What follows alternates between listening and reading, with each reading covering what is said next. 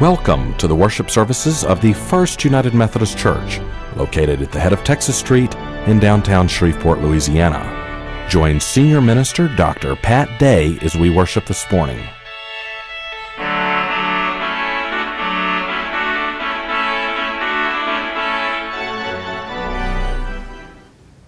This is probably the most practical message I've ever delivered, and I hope that you will take notes because I'm, my goal this morning is to help you to be a better decision maker.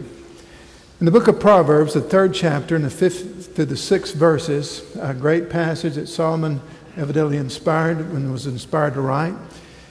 When God asked Solomon that he could have anything in the world, riches, power, you name it, Solomon asked for one thing Lord, grant me wisdom in decision making. And with 800 wives, that was a pretty good request. Trust in the Lord with all your heart, and lean not on your own understanding. In all your ways, acknowledge him, and he will make your path straight. May God add his blessing to the reading of his holy and inspired word. Many, many years ago, as a young pastor, we were sitting around talking about how do you make wise decisions and how do you know if it's a wise decision? And one of my friends held up his hand. I know it's a wise decision when my wife tells me it's a wise decision. Be nice if there would be that little person or that little voice that say, that's a good one, that's a bad one, but it doesn't work that way. So many times in life, we just think that we can drift. And then we wake up and find ourselves far away from where we started and wonder, how in the world did I get here? How did I get in such a mess? No one ends up by accident where they are. It happens because we failed to make the right choices. No one plans to have a bad relationship.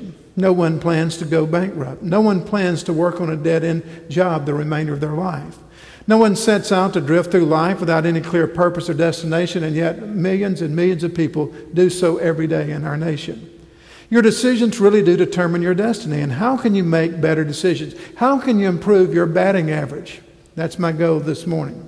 It begins by making wise decisions with the end in mind. Your life is a sum total of the decisions that you make, and every day you're consciously or unconsciously making hundreds of decisions that impact your life as well as the lives of others. Some of these decisions are insignificant and require very little thought, very little effort. In fact, they're effortless. They're just almost uh, one right after another. We do it so without even thinking. Others are much more complex and extremely, extremely important. They require a great deal of time and research and, and consultation with wiser people and, and studying the scriptures and thought and effort goes into it. Many people attempt to avoid decision making because of fear of making the wrong decision. Fear paralyzes us in the valley of decision. In fact, Elbert Hubbard once said the greatest mistake a man can make is to be afraid of making one. How many times have you failed to move forward because you were fearful of choosing the wrong choice, or making the wrong choice? Former President Eisenhower once said, Indecision is a decision. Elbert Hubbard once said, The greatest mistake a man can make is to be afraid of making one. And so true in life. Being wrong or making a mistake paralyzes a lot of people, especially those that are perfectionists, that want to always do things perfectly. If you don't make your own decisions, someone else will. Earl Nightingale, one of my favorite writers of a different generation, said this. He said, The moment we choose not to make a decision about something, we put ourselves in the hands of circumstances or under the control of others who will make the decisions for us. And so this morning, I'd like to begin by saying there's not a 100% fail proof method. But I can guarantee you this if you will put into practice these six steps, it will up your batting average tremendously. So let's begin by looking at and open your worship bulletin the outline of the message. Step number one determine the facts. Do your research. The father of modern day management, Dr. Peter Drucker, once said this Once the facts are clear, the decision will jump out at you. Once the facts are clear, the decision will jump out at you. Herbert E. Hawkes once wrote, he said, half the worry in the world is caused by people trying to make major decisions before they have sufficient knowledge. Gather information, do your homework, do the research. Don't just impulsively or impetuously make a decision. Get the facts before you do so. Thoroughly thoroughly research and get all the facts that you can. Define the issue. Write out a simple statement of the issue or the problem. When people come to me for counseling, one of the things that I try to do early in the counseling session is what is the problem? And the second thing is, what do you think you ought to do about it? Those are two of the most important things when you counsel another person. What information or facts do I need to know or gather? Many people make major decisions without thoroughly doing their research or doing their homework, and this leads to uh, uneducated enthusiasm, impulsively, impetuously making decisions without any facts, without any research. Do everything in your power to gather and uncover the real facts concerning the decision that you're making. You will be amazed at the difference this first step will make, and your decision making process will be much more successful. Step number two Pray for guidance and wisdom. Wisdom is a practical application of knowledge when it comes to making the right decisions. James 1 5 states a passage that Gene read just a moment ago says, "If any one of you lacks wisdom, let him ask of God who gives to all men generously and without reproach, and it will be given to him." This passage simply says, if you do not know what direction you should take, begin to ask God, because God is the author of wisdom. God wants you to know his will and His direction more than you do. He will give to you generously. God is not a stingy God. He wants to give, it, give wisdom to you lavishly, abundantly, more than you even need, without any kind of reproach. It will be given to Him. Praying for guidance involves asking, What does God want me to do in this situation? It involves asking God to give you the mind of Christ. And Philippians 2 5 states, Let this mind be in you, which was also in Christ Jesus in the beautiful passage that I started my message with this morning. The writer of Proverbs says, Trust in the Lord with all your heart. That means to depend totally upon Him as your source of wisdom. Put your entire, release it, place it in His hands, and begin to say to Him, Lord, I want to trust you in this issue. I'm not going to doubt you. I'm not going to question you. I just simply want to trust you to give me the insight, the wisdom that I need. This involves praying for guidance. This involves trusting God for the outcome. And lean not on your own understanding. One of the biggest mistakes that you can make is to leave God out of the decision making process and to think that you know more and better than God does for your life. Praying and imagining yourself thinking with the mind of Christ is so important. Philippians 2 5. Let this mind be in you, which also was in Christ Jesus. Ask others to pray for you as you attempt to discern the will of God in this particular area of your life. Give yourself time to prayerfully read the Bible. It's amazing what God will show you as you study the scriptures and ask and look for the Holy Spirit to direct you. Some good questions that I've used and have learned from other people to use is number one, is this the best thing for me to do? Number two, where will my decision ultimately lead me? Number three, will it bring glory to God? And number four, will it require a step of faith? It's amazing how so many times the decisions that we make require a step of faith. And I've learned the hard way that so many times when I don't take that step of faith and don't honor God, it's the wrong choice. Will it become an inspiration to others? Mr. J.L. Kraft, the founder of the giant uh, uh, food company, Kraft Foods, once said this, and it's something I read years and years ago as a young person that has helped me even to this day. I pray hard and I think hard. And when time is up, I must have the answer. I've done all the thinking and praying that I can do. I just say, Lord, please show me the next thing to do. And then says Mr. Kraft, I believe the first idea that comes into my mind is the answer. And he added, I've been correct a large enough percentage of time to convince me that this process is sound. In every major decision in the life of Jesus Christ, Jesus drew apart to spend time in prayer discerning the will of God, asking God what he wanted him to do. When he chose the 12 disciples, he went away to a private area and began to pray and began to fast, asking God to show him who he should choose.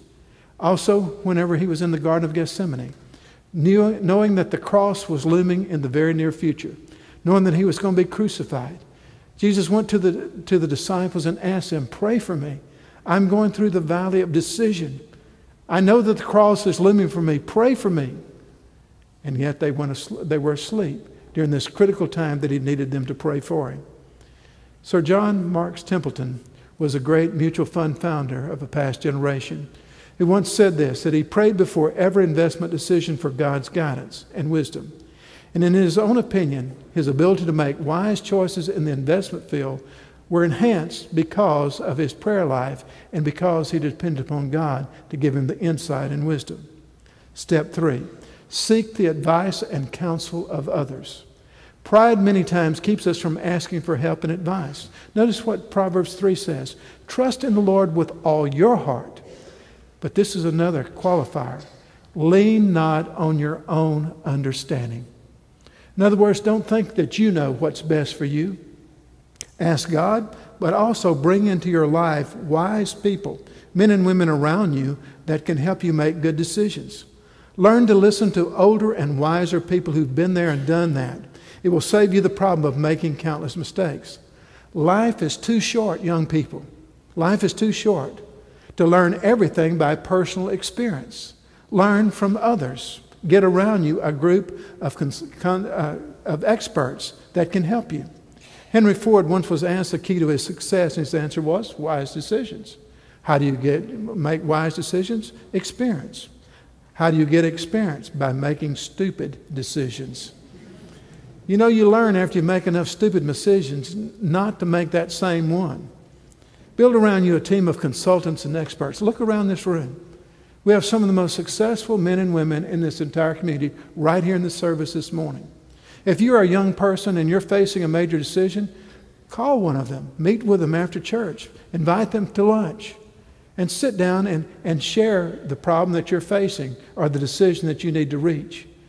We have many, many men and women that would be honored and be blessed for you to ask them their opinion and ask them for counsel and for, to mentor you in this particular area. A mastermind principle or, or executive team develop a close circle of friends or people who you know well and who have your best interests at heart.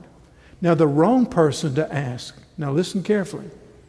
The wrong person to ask to seek advice from are those who will, affected, will be affected positively or negatively by your decision, but will be advised based on their interest and not on yours in your own family, your spouse, or someone that is a wise decision maker. One of the, the people that I leaned on for so many years was my dad, who was a wonderful businessman and had a great deal of wisdom. Maybe not a lot of degrees on the wall, but he was a very, very brilliant man, and his wisdom saved me from making a lot of mistakes. And one of the things that I miss about him not being here anymore is the ability that we had just to sit down and bounce things off of each other. Step number four be sensitive to your intuition. Be sensitive to your intuition. Intuition is one of those mysterious things that uh, it's kind of, for some people, hocus pocus, but it really isn't. When making decisions, do you tend to depend more on facts or upon hunches? Neither one is better than others. It was my privilege this past week to, to listen to a very brilliant entrepreneur from Texas, a billionaire entrepreneur who had made a lot of wise decisions in his life. Red McCombs was his name. And Mr. McCombs talked about the X factor, the hunch factor. Many times in business decisions, following that hunch, following that X factor, as he referred to it as, is one of the keys to making successful decisions. What he was talking about is intuition. It is important to know whether you're an intuitive or a logical decision maker. In my opinion, there needs to be a balance between the two. Neither one is simply right or wrong. You need both. Good decision making involves both intuition as well as logical thinking. Intuition is what we know without knowing for certain. Intuition is a learned skill as well as a God given gift. Intuition is based upon the premise that you must have the guts to follow the hunch. Self confidence is key to intuitive decision making, and many of the great inventors and discoverers of our world and of history have been very intuitive in their decision making. Dr. Joyce Brothers writes, she says, Trust your hunches. They are usually based upon facts filed just below the conscious level. Art Fry, for instance, who worked for 3M, was in the choir and kept noticing every time he'd put those slips of paper in there to, to, where the, the next hymn was going to be would slide out. And so he began to think of somehow or another putting a, that piece of paper in there where you could pull it out and it not tear up the page or disfigure the page. And as a process, he created the post it notes Louis Pasteur, the French chemist and microbiologist, was examining some fermented grapes when he realized that the grapes ferment only when the skin is broken. He knew that bacterial infection was caused by germs in the air, not by spontaneous internal generation. He proved, though, through a, series of experiments, this important concept, which led to what we now know as pasteurization.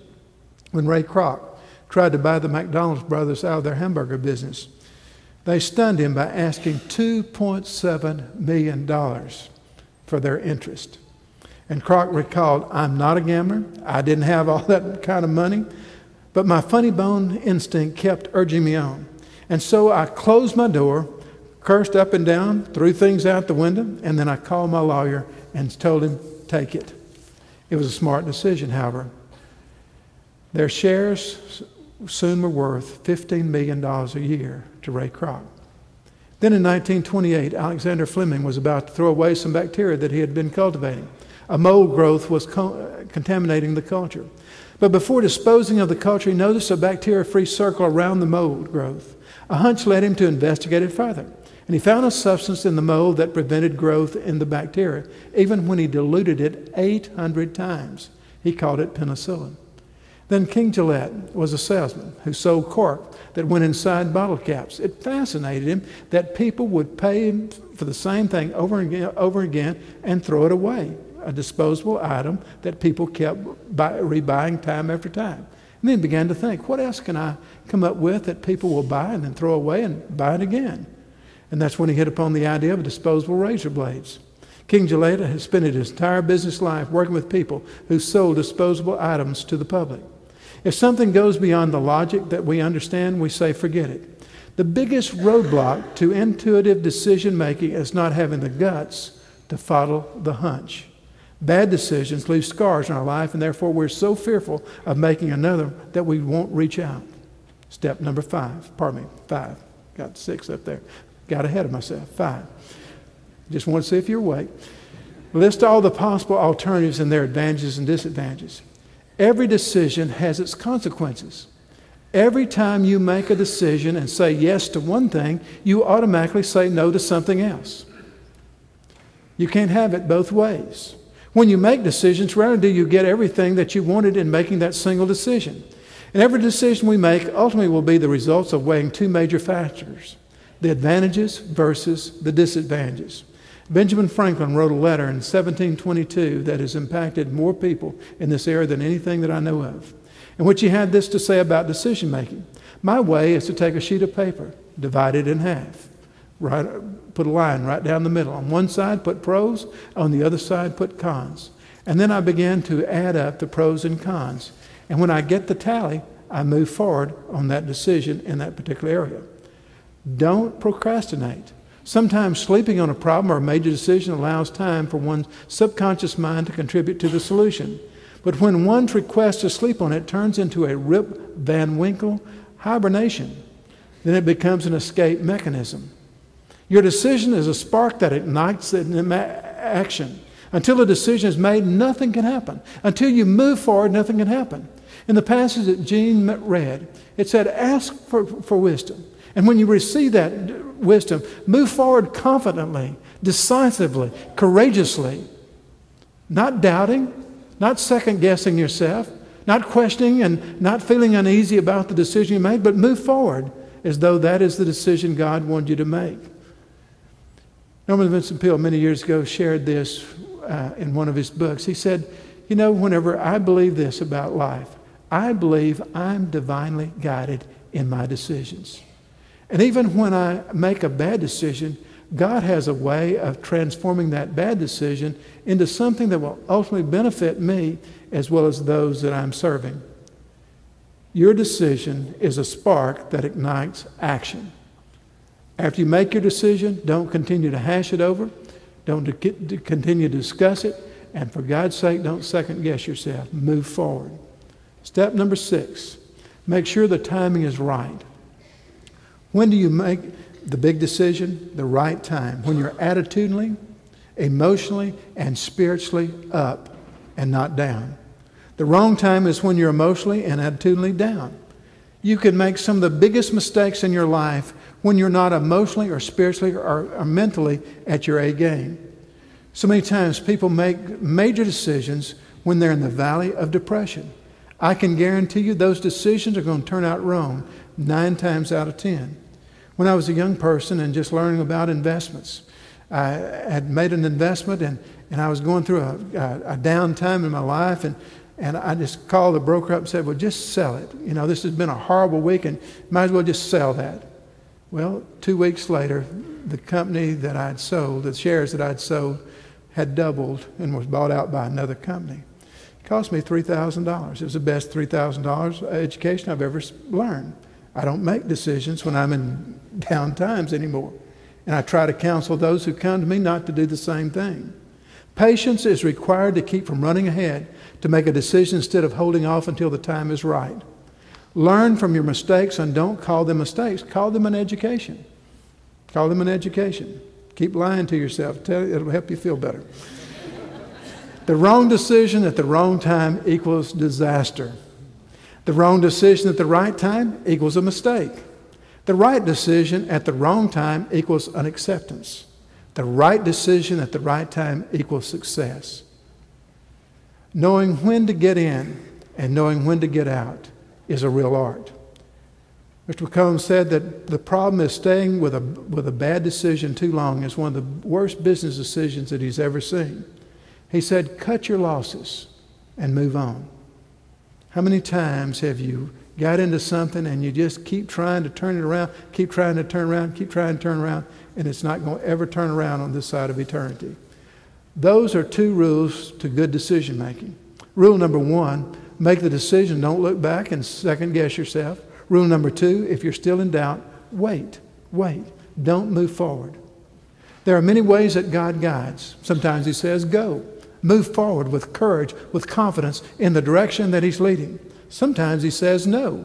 Do not choose that course of action and do not attempt to knock down the door once it has been slammed in your face. Number three, sometimes God says, slow, slow down. Take additional time to think through and pray through and make your decision.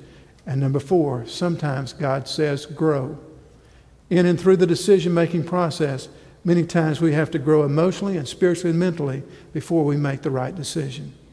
There is one decision that I will guarantee you that will help you make better decisions, and that is the decision to go with Jesus Christ, to make Him your senior partner in life. Many people are in the valley of decisions this morning. Many of you are right there this morning. And if you have not made Jesus Christ the senior partner of your life, then I encourage you to do so. That is one decision you will never, ever regret. I love the little chorus I have decided to follow Jesus. I've decided, decided to follow Jesus. No turning back, no turning back.